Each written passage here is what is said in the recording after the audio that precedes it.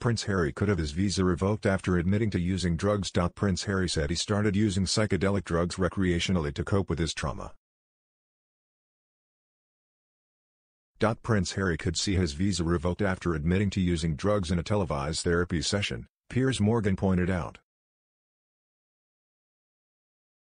Speaking to famed therapist Dr. Gabor Mate for his program The Myth of Normal, Trauma, Illness, and Healing in a Toxic Culture, Prince Harry said he started using drugs after realizing they helped him cope with his trauma. But Morgan noted U.S. officials take a dim view of drug use by non-U.S. citizens as he noted the Duke of Sussex U.S. stay could now be at risk. The presenter said, Harry has barely finished the global family trashing tour in support of his treacherous family trashing memoir, inevitably he's decided the world hasn't heard quite enough from him. So Harry's latest wheeze is a live therapy session with Dr. Gabor Mate, a famed trauma expert, in which he reminded us again that he, Harry, is the world's biggest victim.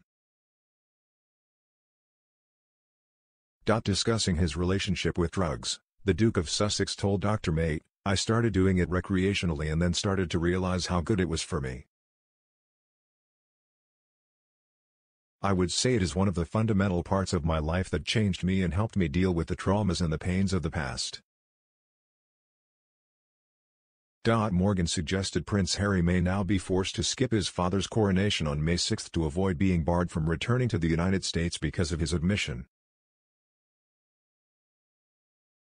TV chef Nigella Lawson was forbidden from boarding a flight to the United States in 2014 after admitting to having taken cocaine during an unrelated trial.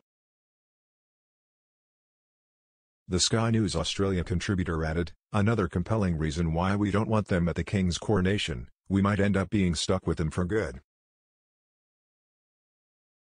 According to the U.S. Citizenship and Immigration Services, visa applicants who are found to be drug abusers or addicts are inadmissible to the U.S.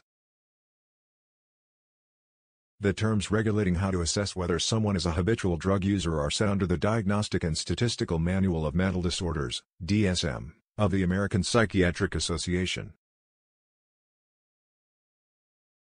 But under rules changed in 2010, a history of experimental use can no longer play a direct role in the admissibility determination border officers have to make when assessing a visa claim. However, precedent exists where foreign nationals applying for entry to the U.S. were denied on criminal grounds despite having no conviction to their name. Laura Devine Solicitors Senior Attorney Carnegie Duke Majian told Vice in 2019, the law says that if you have been convicted of a U.S. or foreign law relating to controlled substances, or if you have admitted to violating such a law, then you are inadmissible to the U.S. Referring to the case of Brit Isabella Brazier Jones, who was denied entry to the U.S. after a two-year-old message about cocaine was found on her phone. Duke Majian noted U.S. officials had become stricter when it comes to admitting people who used drugs in the past. He added, there are legal standards the authorities are supposed to follow, but recent experience has shown that a simple admission to having possessed a controlled substance is being deemed sufficient to refuse entry.